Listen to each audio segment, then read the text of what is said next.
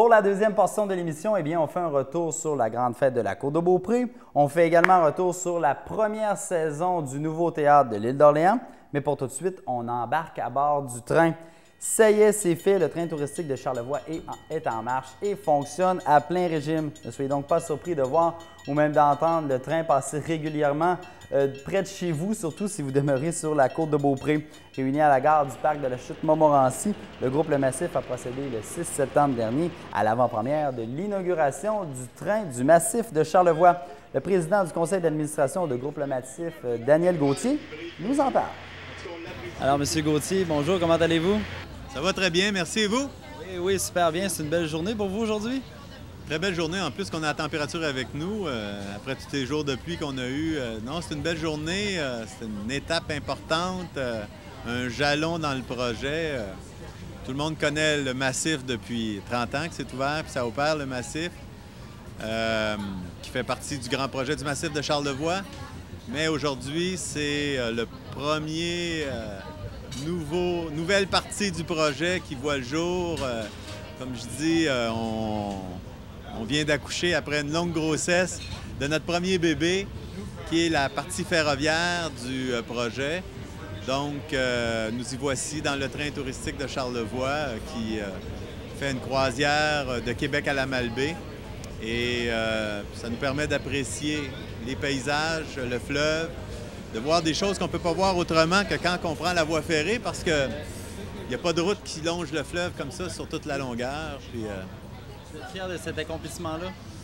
Oui, parce que ça a été euh, tout un cheminement, là, le projet au complet. Euh, là, en ce moment, tous les, tous les, les pôles du, du, projet sont en chantier, que ce soit à la montagne, où on a commencé il y a plusieurs années à faire des travaux, mais là, on, on continue de faire des travaux et à partir de l'année prochaine, on va commencer à avoir de l'hébergement à la montagne. On a euh, à Baie-Saint-Paul le pôle de la ferme avec euh, l'hôtel, 150 chambres, la salle multifonctionnelle, la gare, marché public, place publique, en tout cas qui est en construction et qui va être terminé au printemps euh, 2012. Et aujourd'hui, ben, on vient de, je dirais, lancer euh, le volet ferroviaire euh, avec le train touristique. On a travaillé pendant les deux dernières années à la réhabilitation, la rénovation de la voie ferrée, mais aussi à la modification, construction du train. C'était des voitures euh, de train de banlieue à Chicago qui ont été achetées et on a complètement transformé. Il y avait des mezzanines à l'étage euh, qu'on a enlevées. On a travaillé la structure, agrandi les fenêtres, la fenestration. On a installé euh, une cuisine dans chaque voiture pour pouvoir offrir cette expérience de croisière ferroviaire avec gastronomie à bord. Donc, c'est beaucoup de travail. Pour ça je disais une longue grossesse, mais euh, on est bien fiers de, de, la réalisation. Tout le monde est très heureux qu'on ait enfin franchi cette étape-là de, de livrer une nouvelle partie à ce projet-là qui fait que maintenant, le projet est plus grand que, simplement la montagne, que le massif, que c'est un projet de destination euh, touristique. Euh, et euh, nous espérons va permettre à Charlevoix de pouvoir continuer à se développer touristiquement parlant et aussi de se développer économiquement parlant parce que le tourisme est très important dans la région. C'est probablement l'industrie numéro un. En 2002, vous avez fait l'acquisition du massif de Charlevoix. Est-ce que vous avez vu tout de suite le potentiel avec le train à ce moment-là? Je dirais que ça s'est fait... Euh, on a pris les deux premières années, un pour bon, voir un peu aux opérations euh, et euh, s'assurer que la montagne continuerait à, bien euh, livrer son produit, tout en réfléchissant à ce que pourrait devenir le projet. Euh, ça s'est fait très vite entre le moment où on a dit euh, oui, peut-être, euh, ouais, on pourrait acheter le massif, puis la transaction, ça s'est fait très rapidement. Donc, par la suite, on s'est mis à réfléchir à qu'est-ce que ça va devenir, comment que ça peut devenir euh, un projet qui continue à être un moteur économique et touristique dans la région. Puis euh, on est arrivé vite à la conclusion qu'il fallait euh, développer plus grand que juste la montagne, mettre de l'hébergement, euh, que l'on s'en allait sur un projet quatre saisons. Qu'un projet quatre saisons impliquait que l'été, l'automne, le printemps, l'hiver, c'est pas, pas compliqué avec le ski, avec la montagne. le produit est déjà existant et connu, mais que là, il fallait aussi se développer, développer du contenu, développer une programmation, développer un produit qui réussirait à se démarquer aussi durant les autres saisons. De là, l'idée de dire que l'été, la, porte d'entrée euh, du tourisme dans Charlevoix est Baie-Saint-Paul. Euh, c'est une ville importante comme la Malbaie. C'est les deux pôles importants forts de Charlevoix.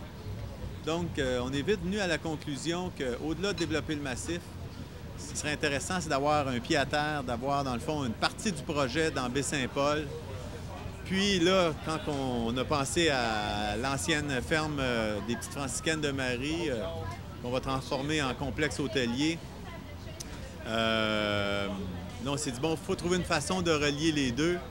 Puis l'idée m'est venue, j'étais en ski, en haut de la montagne, il faisait beau, j'étais en train de penser à ça. Puis d'un coup, j'ai entendu le train de marchandises qui est passé. J'ai dit, ben oui, le train, on va utiliser la voie ferrée, là, de toute façon.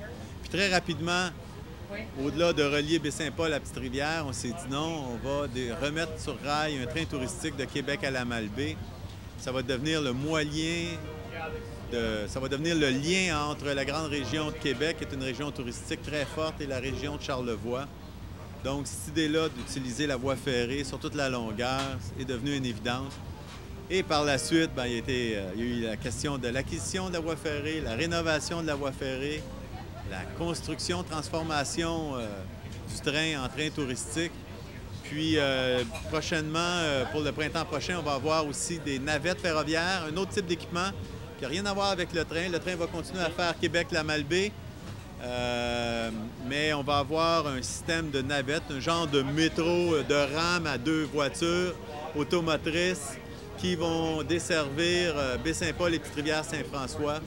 Donc, le ferroviaire a pris toute une importance dans le projet. Et euh, ça s'est traduit aussi en assez gros investissements, parce que sur le total de 258 millions que représente le projet dans son ensemble, 44 millions est voué au volet ferroviaire pour euh, que ce soit la voie ferrée, le train touristique, les navettes, euh, les gares, parce qu'on parle de la chute Montmorency à Malbaie, mais aussi deux gares à Petite-Rivière-Saint-François, une, une à Baie-Saint-Paul, voie d'évitement, un hangar pour faire l'entretien. Donc, toute l'opération ferroviaire au complet va en nécessiter au total à la fin 44 millions de dollars, ce qui est un assez bon, euh, assez bon investissement. Pas de gare à Saint-Anne-de-Beaupré? Éventuellement, gare à Saint-Anne-de-Beaupré ou Beaupré, là, où euh, même il y a d'autres villages euh, sur la côte qui sont intéressés à avoir au moins un quai de débarquement, parce qu'éventuellement, oui, on veut pouvoir faire différentes formules où les gens vont pouvoir utiliser le train à destination, pas juste en excursion. dire débarquer en route, coucher, euh, faire le trajet sur plusieurs jours. Euh.